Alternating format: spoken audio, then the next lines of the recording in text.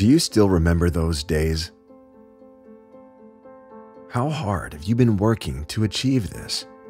How many sleepless nights have you spent just to make sure your family will never face bitterness in life?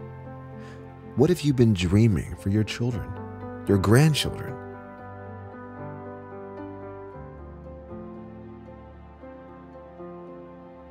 But the destiny did not have mercy with you, and gone are the colorful days of life. We believe that every citizen has the right to preserve his dignity, her fate, their future. We invite you to a place where you can safeguard what you have fought for so long, where you can rest assured and never have to look back. We invite you to Dominica. With applying for a dual citizenship, you can seize the opportunity to change your life within three months.